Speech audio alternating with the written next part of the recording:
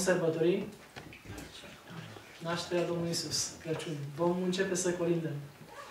Așa că vă urez anticipat sărbători binecuvântate de Domnul. Amin. Amin. De asemenea, am și un gând de rugăciune să ne rugăm în continuare pentru un motiv mai delicat un pic. Până în prezent, an de an, am primit cadouri de la Ece Homo, cadouri, acele cadouri puse în pachetele pentru încălțăminte și le-am distribuit la copii în Covaz, la satele din jur. Anul acesta, din nefericire, nu vom mai primi și numai o minune divină ar putea să mai schimbe ceva.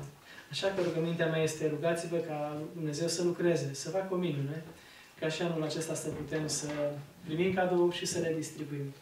De la cardiologie avem o solicitare foarte mare, 230 de copii sunt ai angajaților, dar din nefericire nu putem să onorăm această solicitare. Rugați-vă ca Dumnezeu să miște oamenii, să miște lucrurile, chiar dacă timpul este pe sfârșit în direcția aceasta. Rugați-vă ca Dumnezeu să lucreze. Amin. Amin.